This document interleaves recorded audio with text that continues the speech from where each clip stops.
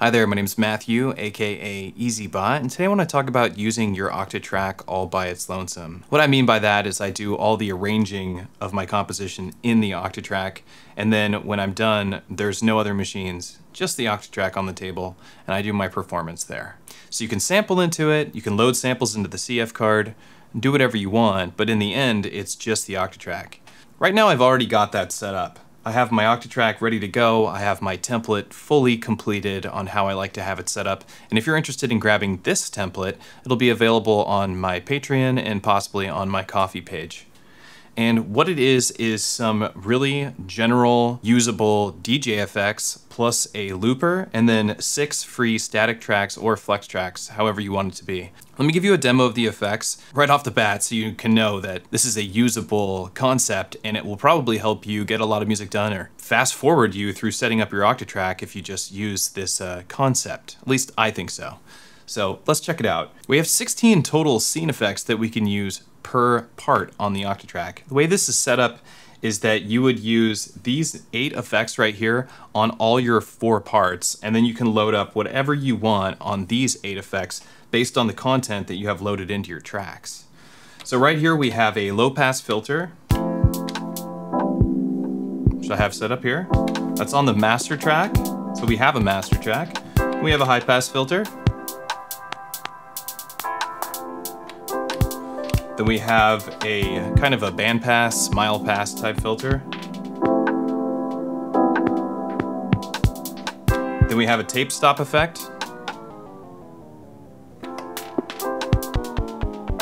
Which is a lot of fun. Then we have an echo freeze.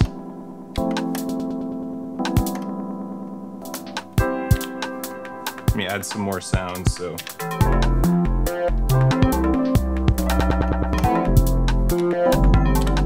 And then we have the Daft Punk effect, which is a half note looper. We have reverse. Let's set up our reverse. So to use reverse, we want to hit yes and arm our record track, which is what we have on track seven here.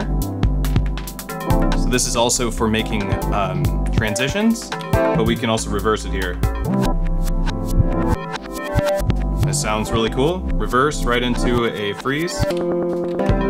Back into our composition. A lot of fun, right? But also we can just go over to a four bar recording and uh, your audience doesn't know the wiser. And at this point we can like add some more elements. But this is also when you'd be able to mute and unmute your tracks on your Octatrack. This is kind of the big deal here, right? So something to talk about, the Octatrack doesn't have pattern mutes. That sucks, but we can get around that with using a flex track that's recorded a four bar loop. What we're able to do while we've transitioned over to our four bar loop is unmute things. And that kind of makes the Octatrack super performable on its own. So I can have six tracks set up as flex or static tracks, turn slice on or off, it's up to you. And I can just build a complex composition with these six tracks and then use track seven as a looper and a reverse effect and track 8 as a master um, freeze delay and as my master filter. And then I'm set up to do some really amazing compositions because with slices on the Octatrack, you can get plenty of work done. You can put all sorts of sounds on different tracks. You can layer sounds. You can go into your audio editor. We'll go over here just to demonstrate. You can go into your audio editor, um, hit yes, and go down to your paste mode. Check this out change your paste mode, there's a mix mode in your paste mode. So if you want, you can select a snare and overdub that snare, just copying that slice of a snare, go over to your kick drum and paste it onto your kick drum. You get what I'm saying? We can make versions of our drums layer on top of each other and you can do it super fast. You just save that sample as a new sample, keep your regular kick, but then load up your kick with the snare on step five or whatever for making techno and boom.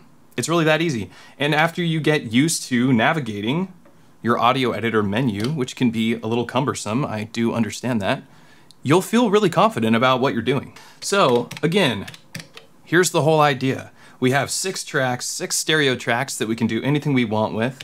We have our incoming audio coming through the mixer for sampling and or working with other instruments if we want to incorporate them in with our Octatrack. Our effects actually mute the incoming audio if we're on this scene or this scene.